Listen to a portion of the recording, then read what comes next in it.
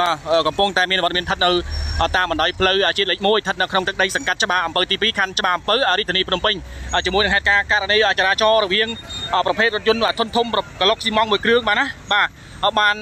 បើកមកបុកម៉ូតូស្ត្រីដែលមានវ័យ40ឆ្នាំជាងបាពេញទំហឹងបណ្ដាលឲ្យស្ត្រីដែលជាជនរងគ្រោះដែលជិះម៉ូតូឌ្រីមសង2013បាទបាត់បង់ជីវិតបាទណាបាទនៅនឹងកន្លែងកាត់ហេតុតតែម្ដងបាទគឺដាច់ ខ្លួនដាច់ក្បាលខ្ទេចបាទចូលទៅក្រោមឡានតែម្ដងបាទប្រិមិត្តបាទប្រិមិត្តបាទសូមជួយ share ចែករំលែកផងណាដើម្បីស្វែងរកសាច់ញាតិរបស់ផងគាត់ណាប្រិមិត្តបាទហើយខណៈនេះរថយន្តបង្កហេតុគឺនៅទីនេះតតែម្ដងបាទស្រាប់តែកាត់ហេតុភ្លាមក៏ស្រាប់តែបើកទ្វាររត់មកខាងលិចទេប្រិមិត្តត្រូវប្រជាពលរដ្ឋដូចជាកម្លាំងសមត្ថកិច្ចតាមចាប់បានខាត់ខ្លួនមកសួរនាំប្រិមិត្តណាបាទ ប្រិមិត្តសូមជួយ share ទាំងអស់គ្នាផងដែរបាទខ្ញុំបាទសូមបញ្ជាក់ទីតាំងនេះគឺកើតឡើងនៅតាមបណ្ដោយផ្លូវជាតិលេខ1ស្ថិតនៅក្នុងទឹកដីសង្កាត់ច្បារអំពើទី2ខណ្ឌច្បារអំពើបាទរាជធានីភ្នំពេញបាទនៅកណ្ដាលវេលាម៉ោង5និងអឺ29នាទីនិង51វិនាទីបាទល្ងាចថ្ងៃទី15ខែមិនិនាឆ្នាំ2024បាទបាទប្រិមិត្តយើងឃើញហើយបាទសូមជួយ share បាទចែករំលែកទាំងអស់គ្នាបាទដើម្បីស្វែងរកសាច់ញាតិអឺជនរងគ្រោះផងដែរបាទជនរងគ្រោះប្រភេទស្រីប្រិមិត្តវ័យប្រហែលជា40ឆ្នាំជាងបាទប្រិមិត្តបាទ បើតាមប្រជាពលរដ្ឋផ្ដល់ព័ត៌មានមកខាងអង្គភាពយើងខ្ញុំបាទនៅមុននេះគឺអឺម៉ូតូបាទជនរងគ្រោះគាត់បានដល់កន្លែង stop ហ្នឹងគាត់ឈប់ stop បាទប្រិមិត្តគាត់ឈប់នៅកន្លែង stop ហ្នឹងស្រាប់តែរថយន្តក្លុកស៊ីម៉ងហ្នឹងបើកបោះពួយមកពីខាងបូងហ្នឹងបុកពេញទំហឹង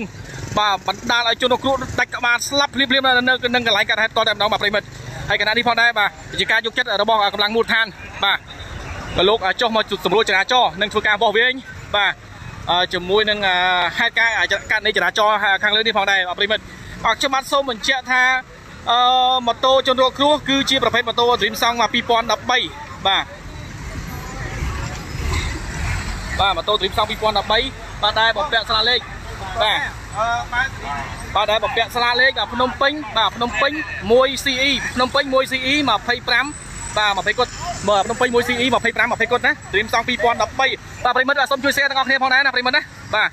ហើយគណៈពេលនេះផងដែរគឺថាមានការកកស្ទះខ្លាំងមែនទែននៅតាមបណ្ដោយផ្លូវជាតិលេខ1នេះបងប្អូនយើងអាចវៀងវៀងសិនទៅណាបាទបាទខ្ញុំបាទសូមចូលរួមបាទចែករំលែកទុកដល់គ្រាមក្រមផងចំពោះគ្រូសានីសពបាទកម្លាំងជំនាញលោកកំពុងតែធ្វើការបោះវែងនិងតំណែងតំណងទៅបងប្អូនសាច់ញាតិនៃគ្រូសានីសពដើម្បីមកទទួលសពធ្វើបុណ្យទៅតាមប្រពៃណីផងដែរបាទប្រិមិត្ត បាទប្រិមិត្តយើងឃើញហើយទស្សនវិជ្ជាទាំងត្រង់ដែលយើងធ្វើការផ្សាយចេញពីចំណុចតាមបណ្ដោយផ្លូវជាតិលេខ1ស្ថិតនៅក្នុងទឹកដីសកាត់ច្បារអំពើទី2ខណ្ឌច្បារអំពើបាទរាជធានីភ្នំពេញជាមួយនឹងរថយន្តបង្កហេតុគឺជាប្រភេទរថយន្តក្លុកស៊ីម៉ងបាទខ្នាតធំគឺដែលបំពាក់ស្លាលេខដោយភ្នំពេញ 5A បាទភ្នំពេញ 5A 3202ភ្នំពេញ 5A បាទ32និង02បាទប្រិមិត្ត បាទហើយជនរងគ្រោះភេទស្រីមានវ័យ40ឆ្នាំជាងបាទប្រិមិត្តយើងមិនទាន់ដឹងតែគាត់ឈ្មោះអីទេបាទកម្លាំងជំនាញលោកកំពុងតែធ្វើការឆែកមើលអត្តសញ្ញាណដើម្បីតំណែងតំណងក៏ដូចជាលម្អិតបន្ថែមអំពីឈ្មោះរបស់ផងគាត់តតែម្ដងបាទប្រិមិត្តទូទាំងជនបាទអត់ធំណាស់ប្រិមិត្តទេវាឃើញធំណាស់បាទប្រិមិត្តយើងសូមជួយ share ទាំងអស់គ្នាណាប្រិមិត្តណាបាទមានបង្កការភ្ញាក់ផ្អើលបាទប្រជាពលរដ្ឋមកចោមរោមើលយ៉ាងខ្លាំងមែនទែន បាទហេតុការណ៍នេះគឺបានកាត់ឡើងនៅតាមបណ្ដោយផ្លូវជាតិលេខ1ស្ថិតនៅក្នុងទឹកដីសកាត់ច្បារអំពើទី2ខណ្ឌច្បារអំពើបាទរាជធានីភ្នំពេញខណៈវេលាម៉ោង5:29នាទីនិង51នាទីល្ងាចថ្ងៃ15មីនាឆ្នាំ2024ផងដែរបាទប្រិមិត្តបាទនេះរថយន្តបង្កហេតុបាទប្រិមិត្តណាបាទគឺជាប្រភេទរថយន្តបាទក្លុកស៊ីម៉ងខ្នាតធំតែម្ដងបាទប្រិមិត្តណាបាទដែលបំពាក់ស្លាលេខភ្នំពេញ 5A 3202ភ្នំពេញ 5A បាទ3202បាទប្រិមិត្ត ឯកណានេះគឺមានការកកស្ទះខ្លាំងមែនទែនបាទប្រិមិត្តយើងបាទសូមជួយ share ទាំងអស់គ្នាណាបងប្អូនយើងធ្វើចរាចរណ៍តាមដងផ្លូវជាលេខ1បើសិនជាអាចវៀងជៀសជាបានសិនណាប្រិមិត្តណាវាស្ទះខ្លាំងមែនទែនណាបាទ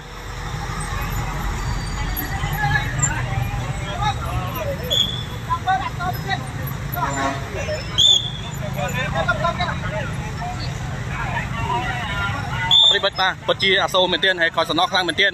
ចំពោះករណីចរាចរណ៍មួយនេះផងដែរបាទប្រិមិត្តយើងឃើញហើយ បាទជាមួយនឹងរថយន្តបាទក្លុកស៊ីម៉ងអាខ្នាតធំបុកពីក្រោយពេញទំហឹងបណ្ដាលឲ្យស្ត្រីម្នាក់បាទដែលបើកបោស្របទិសគ្នាបាទតាមប្រជាពលរដ្ឋក៏រាយការណ៍មកថាគាត់ឈប់នៅសពនេះប្រិមិត្តបាទគាត់ឈប់នៅសពហ្នឹងណាបាទស្រាប់តែឡានហ្នឹងក្លុកស៊ីម៉ងមកពីខាងក្រោយបុកពីអាពេញទំហឹងបណ្ដាលឲ្យភាគីជនរងគ្រោះបាទដាច់ក្បាលទៀតចូលក្រុមកងឡានបាទហូរឈាមកាត់ធ្លុកតែម្ដងបាទប្រិមិត្តបាទស្ដែងមែនទៀតបាទប្រិមិត្តយើង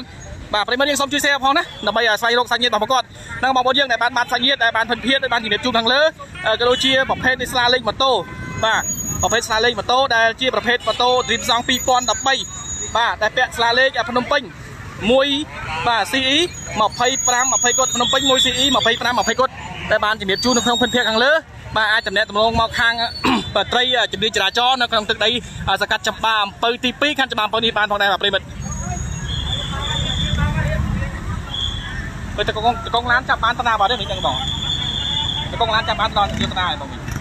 មើលមើលប៉ោះយ៉ាងណាប៉ោះខាងពីនេះបងណាសាច់យ៉ាងណាមកតអត់ទៅនេះបងមិនចាប់បានទេមិនយកដល់ប៉ោះនេះ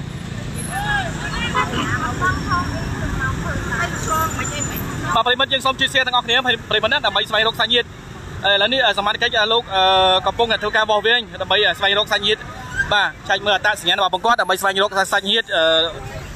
ឲ្យមកទទួលសពផងដែរបាទប្រិមិត្តយើងឃើញហើយបាទពិតជាអសូរណាស់ហើយខ្ញុំបាទកាមេរ៉ារួមជាមួយក្រុមការងារក៏ចូលសូមចូលរួមមកចែករំលែកទុកជាមួយនឹងបាទគ្រូសាស្ត្រនៃសពផងពិតជាអសូរណាស់ប្រិមិត្តណាបាទតាមជាប្រវត្តិដែលផ្ដល់ព័ត៌មានមកខាងយើងខ្ញុំបាញ់មិញគឺ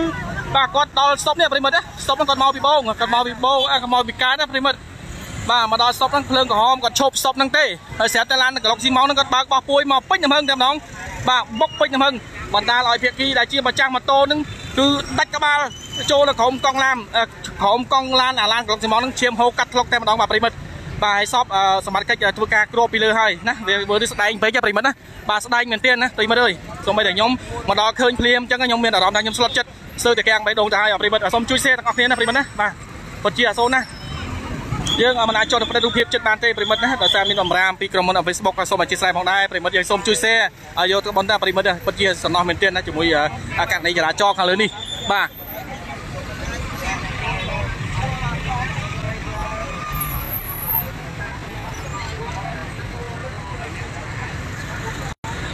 ខ្ញុំបាទសូមបញ្ជាក់ទីតាំងកន្លែងកាត់ហាត់ម្ដងទៀតគឺកើតឡើងនៅតាមបណ្ដោយផ្លូវជាតិលេខ1ស្ថិតនៅក្នុងទឹកដីសកាត់ច្បារអំពៅទី2ខណ្ឌច្បារអំពៅបាទរាជអធិរីភ្នំពេញបាទនៅទល់មុខផ្សារច្បារអំពៅផ្ទាល់តែម្ដងគឺផ្ដើមឡើងចេញមកពីអឺបាទរថយន្តប្រភេទក្លុកស៊ីម៉ងមួយគ្រឿងនេះគឺបើកបោះពួយយ៉ាងលឿនពេញចំហឹងបណ្ដាលឲ្យបុកស្ត្រីរងគ្រោះដែលគាត់កំពុងតែចតនៅសុបនៅនឹងកន្លែងព្រោះភ្លើងក្រហមប្រិមិត្តបាទពេញចំហឹងបណ្ដាលឲ្យគាត់បាទដាច់ក្បាលអាឃ្លាតចូលក្រុមកង់ឡានឈាមហូរកាត់ធ្លុកបន្តតែម្ដងបាទប្រិមិត្តបាទប្រិមិត្តសូមជួយ share ទាំងអស់គ្នាណា បងបងបងបងបានឆែកមើលអត្តសញ្ញាណគាត់ទេណាបងហ៎មានទេមានទេមានគាត់ឈ្មោះបងមិញបានឆែកមើលអត្តសញ្ញាណគាត់បងហ៎តាំងបលេងតាំងបលេងមកណាគាត់បាច់ជាអាយុប៉ុន្មានទេបងប្រិមត្តខ្ញុំបានលំអិតពីបងសមត្ថកិច្ចគាត់គឺមានឈ្មោះតាំងបលេង បាទសមត្ថកិច្ចគាត់ធ្វើការឆែកនៅខ្លួនប្រានគាត់មិញដើម្បីរកអត្តសញ្ញាណណាឈ្មោះតាំងប៉លេងប្រិមិត្តសូមជួយ share ផងណាបងប្អូនដែលបាត់សាច់ញាតិដែលបានឈ្មោះជំរាបជូនឈ្មោះខាងលើសូមជួយមកតំណែងតំណងមកខាងប៉ុស្តិ៍នគរបាលរដ្ឋបាលសង្កាត់នៅហានិភ័យអីផ្សេងៗកើតឡើងនៅប្រការណាមួយបងដែរអប្រិមិត្តសូមជួយ share ទាំងអស់គ្នាប្រិមិត្តបាទ ខ្ញុំបាទសូមបញ្ជាក់ផងដែរស្ត្រីបាត់បង់ជីវិតដោយករណីរថយន្តប្រភេទក្លុកស៊ីម៉ងបុក và ពេជ្រចំហឹងនៅខាងលើគឺគាត់មានឈ្មោះតាំងប៉លេងដែលមានទីលំនៅបច្ចុប្បន្ននៅក្នុងសកាត់វាលវងបាទខណ្ឌ7មករារាជធានីភ្នំពេញបាទ ថ្ងៃខែឆ្នាំរបស់គាត់ខែខែឆ្នាំកណ្ដាលរបស់គាត់គឺកើតនៅឆ្នាំ1975ប្រិមិត្តណាយើងដឹងហើយ75អាយុប្រហែលគឺគាត់40ជាងប្រិមិត្តអាយុ40ជាងណាប្រិមិត្តបាទ40ជាងហើយអូនកុកឡានចាប់បានអូននៅប៉ុហ៎តែចាប់បានយកឡាននៅខាងនៅខាងនោះហ៎អរគុណច្រើនបងអរគុណនៅខាងនោះវិញហ៎បាទបាទបាទប្រិមិត្តមកសួរខាងខាងកម្លាំងជំនាញទៅកងឡានគឺចាប់បានហើយនៅនៅខាងណាប្រិមិត្តនៅខាងបាទអត់មានតន្តនាទេ ទុកឲ្យកម្លាំងជំនាញលោកធ្វើការដល់ប្រិមិត្តបាទសូមជួយ share ទាំងអស់គ្នាផងដែរបាទខ្ញុំបានសូមបញ្ជាក់អំពីប្រភេទឡានក្លុកស៊ីម៉ងមួយគ្រឿងដែលបុកពេញទំហឹងបណ្ដាលឲ្យស្ត្រីជនរងគ្រោះស្លាប់ក្នុងក្លុកឈាមដាច់ក្បាលនៅខាងលើនេះគឺជាប្រភេទរថយន្តក្លុកស៊ីម៉ងដែលពាក់ស្លាលេខបាទភ្នំពេញ 5A 3202ភ្នំពេញ 5A 5A បាទបើកបោះពួយមកលឿនមែនទែនដល់ប្រិមិត្តបើតាមប្រជាពលរដ្ឋគាត់ផ្ដល់ព័ត៌មានមកបាញ់មិញគឺ បាទស្ត្រីម្នាក់ហ្នឹងគាត់បើកបរមើលពីខាងកើតស្រាប់តែមកដល់ស្តុបគាត់ឈប់នៅកន្លែងស្តុបហ្នឹងបាទប្រិមិត្តបាទព្រោះស្តុបក្រហមណាគាត់គ្រប់ច្បាប់ចរាចរណ៍បាទហើយស្រាប់តែរថយន្តកឡុកស៊ីម៉ងហ្នឹងគាត់បើកបោះពួយមកពីខាងបូអាខាងកើតបាទបើកមកយ៉ាងលឿន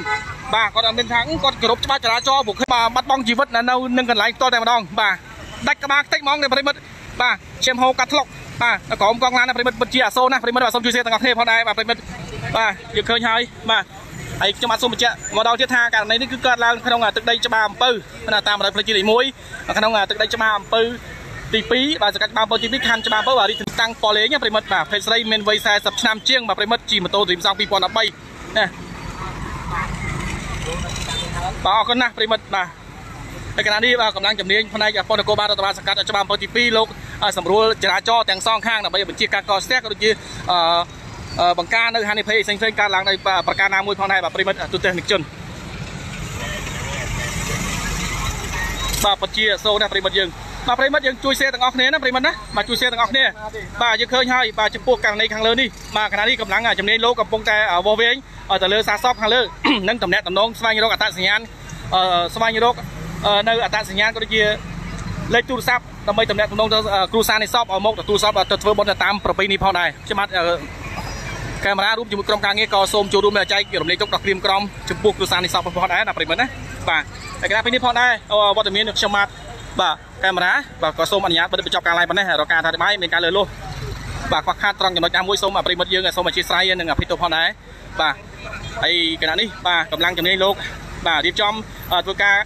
វវែងទៅលើជាមួយនឹងករណីចរាចរណ៍ខាងលើបាទរបៀងរថយន្តប្រភេទកឡុកស៊ីម៉ងបុកពេញទំហឹងបណ្ដាស្ត្រីជាជនរងគ្រោះជិះម៉ូតូ Dream Song 2013បាទឈ្មោះតាំងប៉លេងដែលមានវ័យ40ឆ្នាំជាងបាទបណ្ដាលឲ្យបាត់បង់ជីវិតដាច់ក្បាលស្លាប់នៅក្រោមកង់ឡានបាទឈាមហូរកាត់ធ្លុកនេះបាទតែម្ដងបាទប្រិមិត្តបាទគណៈពេលនេះផងដែរវត្តមានច្បាត់ខេបណាបាទក៏សូមអនុញ្ញាតបិទបញ្ចប់ការ live តែប៉ុណ្ណេះសិនណាប្រិមិត្តហើយមានអ្វីបន្ថែមយើងនឹងធ្វើការអាប់ដេតបន្ថែមនៅលើ website ក៏ដូចជានៅក្នុង page ផ្លូវការរបស់អង្គភាពយើងខ្ញុំជាបន្តទៀតផងដែរ